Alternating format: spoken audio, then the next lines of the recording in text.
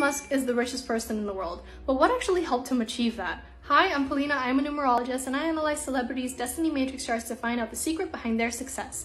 Elon Musk has a net worth of around 200 billion, but what actually helped him achieve that just based on his birthday? So first of all, he has the five in the entrance to his financial channel. This creates a very wise energy that he kind of already knows exactly what he's meant to be doing, and he's not afraid to go into the new. He's not afraid to take new approaches, and that is a really, really positive thing of the five in the financial channel.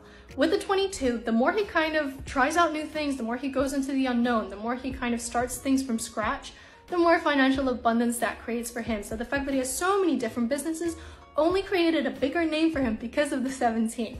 The more he shares about what he does, the more public he is on social media, the more financial abundance he creates, the more opportunities come into his life because he's open. He is public, he shares his interests, and that only ends up attracting more and more people and more financial opportunities for him.